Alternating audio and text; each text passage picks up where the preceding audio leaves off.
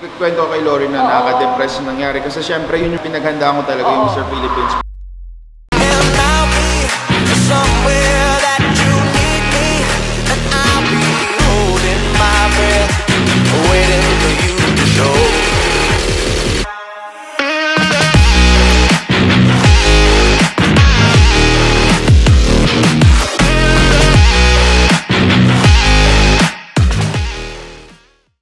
Up mga kabis? Ayun, it's weekend again and Yes. vlog na naman kami. So, um, eto, actually mga kabis, nasa mga peak weeks na si Ming. Ako kasi Oo. hina na talaga. Nangihina na siya. Actually, pinag-iisipan namin kanina. I mean, siya especially na mag-vlog. kung mag-vlog ba. Kasi Wala na hinang, akong wala na siyang energy, hinang-hina na rin siya. Pero ayun, pinilit natin para Yeah, mag-vlog para sa inyo kasi nag-request kayo na at least mapag-vlog at least once a week or twice Yes. a week. Ang Mga kabis announcement, no, medyo nakakalungkot. Siguro alam niyo naman to kasi sa Facebook nag-post na ako or sa Instagram nag-story.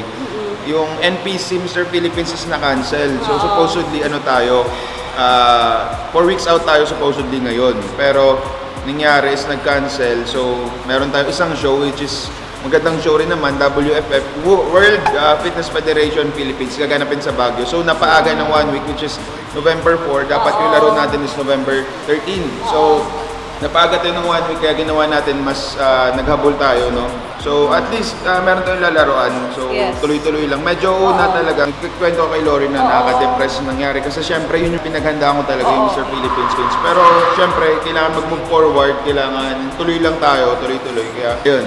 Oo, and then sabi ko din sa kanya, I'm very proud of your decision. Kasi um, nung una talaga parang, alam mo yon nag-work ako nun, tapos sabi niya sa akin, hindi, hindi tuloy yung ano, yung show. Sinend niya sa akin yung screenshot ng show. Oo. Siyempre, ako, nawala talaga ako sa focus noon. Sabi ko, hindi pwede to. Sabi ko gano'n. Kasi, siyempre, pinaghirapan niya ni Ming. Oo. Eh, sabi ko naman, kumaga ano pa ba yung ibang show? So, sinabi niya sa akin yung iba pang show. Um, and then, ayun. Tapos, nung sinabi niya na, bago ko pa sabihin, bago ko pa siya advisean, kasi kami, ina-advisean namin yung bawat isa sa mga decision making din, which is really helpful for us. Kaya, bago ko pa siya advisean, natutuwa ako kasi, siya na mismo yung nagsabi niya sa akin na, itutuloy ko to. Oo. Sabi niya ganun. Kasi, meron kaming goal talaga din ni Ming. Kaya, kaya siya kailangan, nag kailangan, oo. Tapos, ayun nga, nandun ako sa point na, na depressed ako, kakain ba ako? Pero sabi ko, Oo. hindi, hindi, hindi ako Oo. kakain. Ginawa ko, nag-rest day ako, pero nag-cardio pa rin ako. So, talagang inisip ko, sige, bahala akong cancel kung wala man show, pero tutuloy ko pa rin whatever happens na kumbaga, Oo. kung ano yung ginagawa ko, tuloy ko pa rin. Nandun ka na rin lang Nandun eh. na rin. Tsaka, ang tawag dito, yung prep niya na rin. Mas, Nasa, ano na lang, ah, four weeks out na lang, nag-announce sila. So, eh, nakakalungkot. So, hindi na natin sila masisit. So, Mm. Yeah. may mga reason sila. anyways, tuloy tayo Anyways. sa game. Yeah, um, nothing stopped Ayun. us. Yes, nothing sir. stops us from ano. Eh, tuloy-tuloy Oo. talaga sa goal. Kapag meron kang goal, kahit ano man dumaan na problema, ah, pahinga onte, isip-isip na maayos, then go. Yes. Um, and kahapon, super quick lang na share na Super story. quick. Um, Oo. and birthday ng anak ni Vince, si Ayun, Sky, which is super kasi, duper cute. ano, ah, Oo. ah, ano namin, Ah. hindi, ano ba yun? Inaanak. Yun, Inaanak, inaanak ni inaanak Ming. Yun, si si Sky. So, Sky. ayun. Nag-enjoy din kami. Happy birthday, Sky. Happy birthday. Sky. Love you. Nag-enjoy kami sobra kahapon. Kasama namin sila Ben. Medyo napainom kami. Sila Just lang, minsan lang din naman si Ming hindi. Ako. Si Ben, si Ken, lahat kami, di ba? Ah, Sila, banding-banding sila sila. Kuya Banding-banding. Win, si Ipe, sobrang nakakamiss talaga.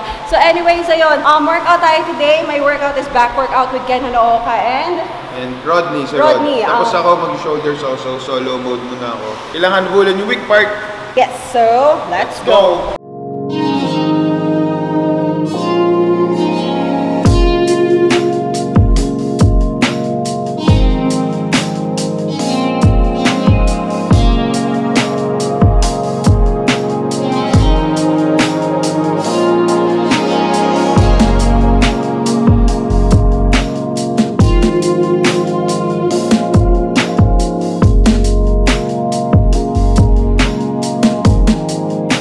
Ayan, so mga kabis, ayan, kasabay ko si Ken and si Rodney. Um, super nakakamiss i-train din ako ni Ken. Um, if naaalala nyo yung competition ko, which is, ayan, um, tinrain talaga ako ni Ming and ni Ken noon together. And yung back training, yung pinaka nami-miss ko kasi yun yung pinaka, um, alam mo yon um, tinutukan din nila Ken. Um, isa yun sa mga naging strong part ko din, yung back, which is I'm super happy na sila yung nag-train sa akin kasi talagang hands-on, very hands-on.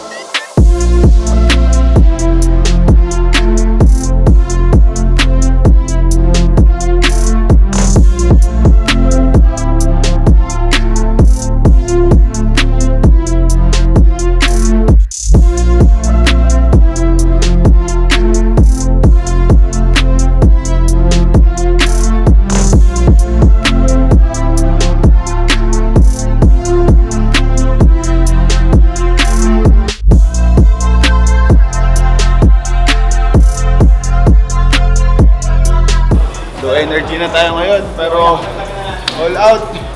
Let's go. Paga tayo ng one week.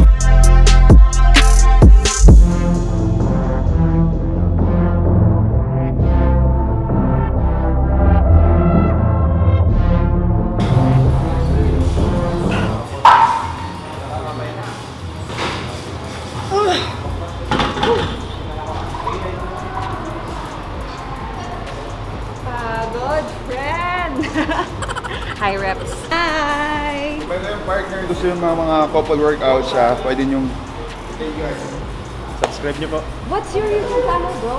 Orin TV. Yan, Orange TV. Supportahan nyo. Ah, nakapapanood sila natin sa kilaban sila niyo, Yeah, ma'am. oo, grabe. Idol, galing.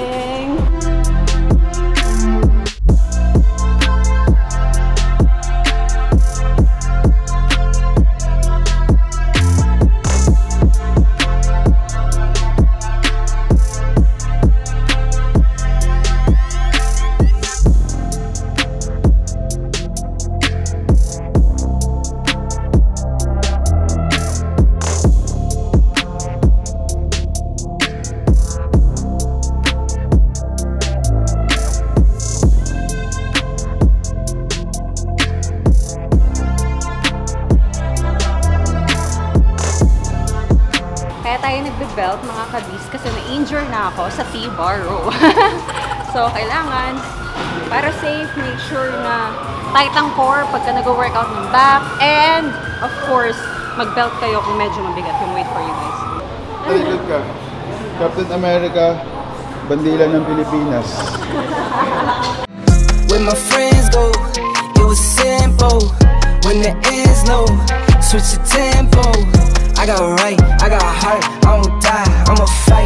I down, bet I strike. I go hard day and night, yeah. I go hard day and night. Let's go, babe. Kaya mo yan.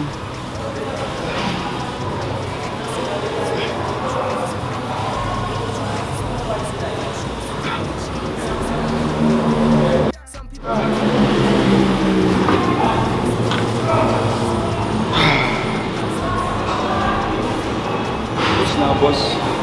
Tricep pa ako after itong shoulder. So, exercise pa lang tayo. Boss na.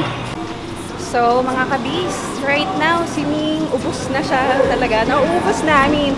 Um, yung lakas niya, kaya more on ngayon, ako na yung mga nagsasalita kasi um, parang nahihirapan na rin siya. Dahil, wow! Ano na, nakakatatlong exercises pa nga lang siya, pero ano na, medyo talaga nangihina na. If hindi ka nangihina habang nagpe-prep ka or pick weeks mo na, you're doing it wrong. So, ganun talaga. Ganun talaga. And, um, ayun, tuloy-tuloy lang sa goal kahit na nangihina na.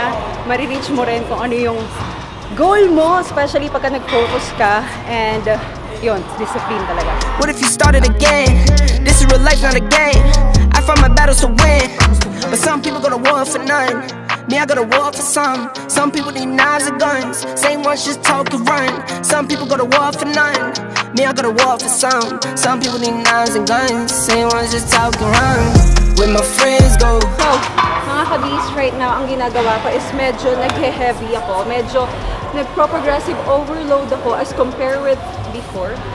Kasi, especially right now na off ka naman, so, ito yung perfect time na medyo mag-ipon ka ng muscle. So, pagka off kayo, or mga sa mga nagko-compete din, better talaga na yun nga, medyo mas nagpo-progress ka sa weight or sa repetitions tuwing training mo. Kwentuhang diet. Gusto ang diet kami ngayon kasi isa amin ng coach, yan si Keno. Napapraning na kami ngayon, malapit na yung laban. So, Napapraning na. oo. Malapit na kasi yung laban. malapit na yung laban. So, nagbibilangan kami ng ano. Tatanungan kami kung ano kung ilang grams yung rice niya. Sa kanya, 700 grams of rice. Tapos, ano pa iba? Oats lang, 60 grams. Yun yung iba kong source ng carbs. So, mas mataas yung sa kanya, no? Sa kanya, 700 grams of rice, tapos 60 grams ng oats. Yung sa akin, 600, ah, 500 grams of rice, tapos 50 grams ng oats. So, ayun. Magkakaiba kasi per prep, Ah, di ba? Depende kasi sa Oo. condition eh. Yeah, especially din nung men's physique din si Ming noon, yun yung Mas mataas yung pinaka- carbs ko last Oo. year. Sa Kasi nagsimula ka naman ng malaki ngayon eh. Oo, so Oo. ngayon kasi medyo naghabol tayo since napaaga kami ni Rodney nung one week. So ngayon medyo Intense na maghahabol. talaga. Kasi galing lang ako ng depleted nung national. So, kaya nagtaas kami ng carbs ngayon. Oo. Unlike si Kuya Ming, papunta pa lang sa peak niya, kaya medyo nagbababa siya ng Yes. carbs. At hindi lahat ng prep pare-pareho. Pare-parehas. Kaya, Like Yes. yan, isa kami ng coach, no, which is si Kel. Pero ako, mas mabigat ako kay Rodney. Ilang ilang kilo ka bro? Alam, 78 tayo. 78. Oh, 78 kilos siya. Pero ako, ah, 95 kilos umaga. So, ang laki ng difference. Pero mas mataas yung carbs niya. So, yun nga, magkakaiba yung katawan. So, hindi pwedeng i-apply mo tong diet na to para sa isang tao parehas kayo. So, ayun, ngayon nga, kahit mas mabigat ako, mas mababa yung carbs ko. So, ayun. Anong IG mo, brother? At Engineer Physics, Yan. ENGR Physics. Yan, follow nyo siya. Subscribe kayo dito, ah, Melofit. Yes. Naglalagay ako ng weight, tapos, yung sabi ko, kaya ko ba to? Pero, wala, you just gotta try. Kasi pag hindi mo tin- tinry, hindi mo malalaman kung kaya mo ba yung weight na yun. So, kailangan mo siyang i-try. Where my friends go, it was simple. When the ends low, switch the tempo. I got right, I got heart, I won't die, I'ma fight. I go down, bet I strike. I go hard day and night, yeah. I go hard day and night, one to one, no surprise. See the hate in their eyes. My brother's blood money bleed. I got Shoulders, ah, patapos sa shoulders, triceps naman. What would you do for some blues? Go pick and choose, a family the cheese. Some people not built like that. Some people get killed like that.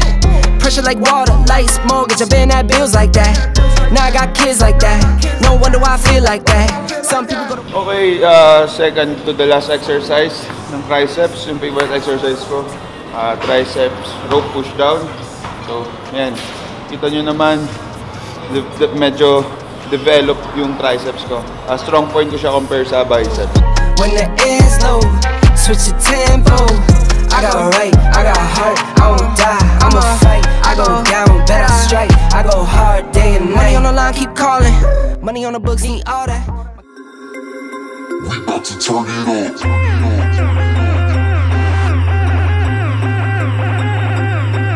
Turn it. We about to turn it up.